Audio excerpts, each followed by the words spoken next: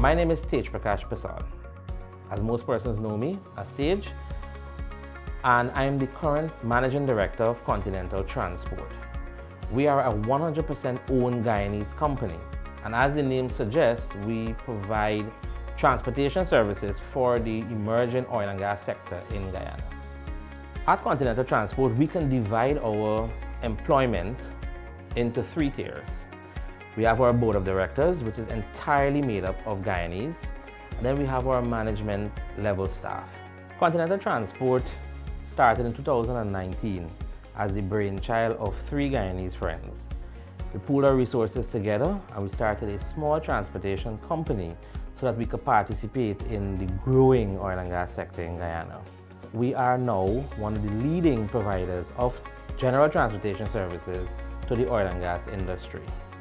These services would include truck and trailer services, which comes under our heavy oil segment.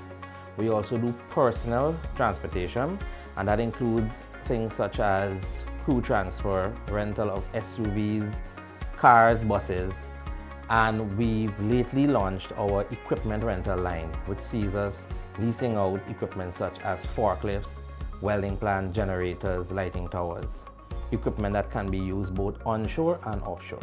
As a new industry, the oil and gas is very unique and it brings that component with itself. And it's heavily monitored and heavily regulated. So in order for us to actively participate, we needed to comply. That is where the challenge came. As Guyana grows, so too we see continental transport growing to the extent that we will, by the end of the next five or maybe 10 years, not be a leading provider of transportation service, but the leading provider. It's an exciting industry, and if it is that you are determined and you put in the hard work, it definitely um, proves beneficial.